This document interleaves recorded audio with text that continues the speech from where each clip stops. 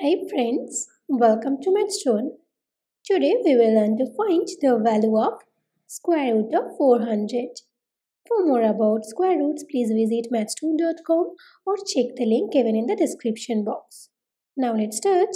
Firstly, we will break 400 into two parts in such a way so that at least one of those parts will be a perfect square.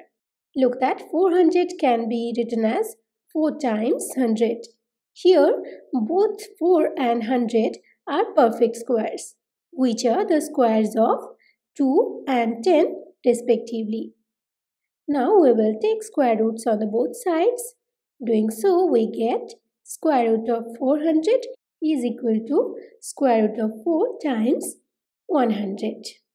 Now we will rewrite this as square root of 4 times square root of 100 as we all know that square root of x times y is equal to square root of x times square root of y.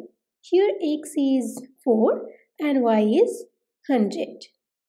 As square root of 4 is 2 and square root of 100 is 10. So we have this is equal to 2 times 10.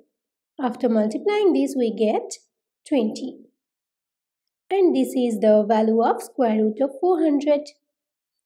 Thank you for watching. Please like and share this video if you find it useful.